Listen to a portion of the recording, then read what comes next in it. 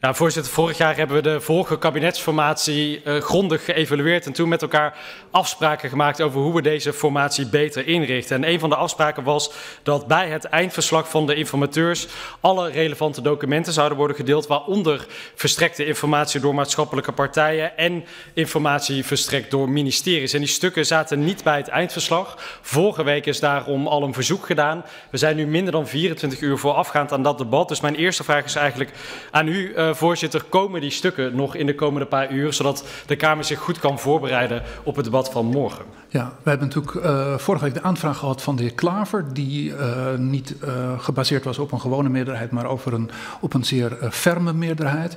We hebben ons verstaan toen met het bureau kabinetsformatie, dus dat is zeg maar het kantoor.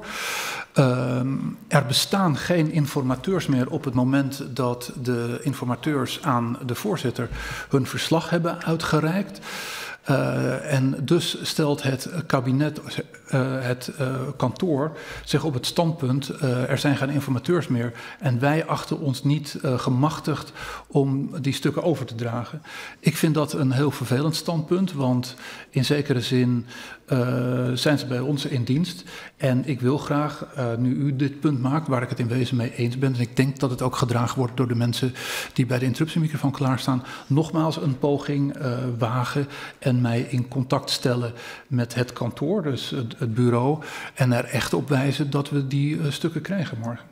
Ja, voorzitter, allereerst hartelijk dank daarvoor. Want uh, ik vind ook een, de gewaardeerde uh, ex-informateurs uh, weten allebei heel goed hoe het hier in de Kamer werkt. En ook hoe informatievoorziening naar de Kamer werkt. Zij hebben in opdracht van de voltallige Kamer hun werk als informateurs gedaan. Zij wisten ook dat de motie Klaver-Sneller op stuk 35788 destijds zeer breed door deze Kamer is gesteund. En willen we een goed debat voeren, dan moet dat op basis van alle informatie. Dan moet het op basis van transparantie. Maar mijn verzoek aan u zou wel zijn als u weer met hetzelfde kluitje in de driet wordt gestuurd. Of dat u dan als Kamervoorzitter de verantwoordelijkheid wil nemen om uh, met een korte oplegbrief uh, dit af te tekenen. Zodat de ambtenaren van het uh, bureau kabinetsformatie, die denk ik heel hard aan het werk zijn. En ik begrijp, het is voor hen onmogelijk om stukken met de Kamer te delen. Of dat u dan bereid bent om als Kamervoorzitter die informatie aan de Kamer te toekomen als de heren van Zwol en Dijkgraaf daartoe niet meer bereid zijn. Nou ja, ik ga me daar uh, nogmaals uh, toe inzetten. En ik voel me dan gesterkt door een,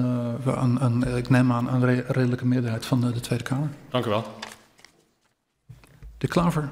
Ja, voorzitter, heel erg steun voor het verzoek. Fijn ook dat u op deze manier hieraan, hiermee wil optrekken. Ik wil hier echt benadrukken dat dit niet de verantwoordelijkheid is van de ambtenaren die daar heel hard aan het werk zijn. Dit is de verantwoordelijkheid van de, de informateurs. Ik zou ook naar de onderhandelende partijen willen kijken, want die hebben daar gezeten. Uh, of zij ook willen bespoedigen in alle contacten zijn dat die stukken gewoon zo snel mogelijk hier naar de Kamer komen. Dat hebben we met elkaar afgesproken. En als je iets afspreekt, moet je, afspreekt, moet je het nakomen.